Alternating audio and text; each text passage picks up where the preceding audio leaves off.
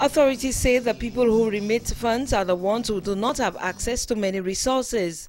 As the island observed World Consumer Day on Thursday, the acting director of the Ministry of Commerce and Consumer Affairs says consumers need to be aware of the cost implications when they transact business.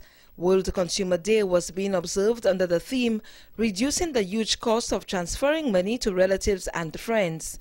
The theme was specifically chosen after international consumer rights authorities had been focusing on the financial crisis. The funds that they transfer in is not a lot of money, but they have to pay those exorbitant prices, these costs, so that they can get a little bit of money across to family, you know, members, and so on and so forth. So these things really concern us. If you go to the Western Unions, you know, to transfer a little bit of money costs you so much. A mini exhibition was held outside the ministry in an effort to sensitize the public.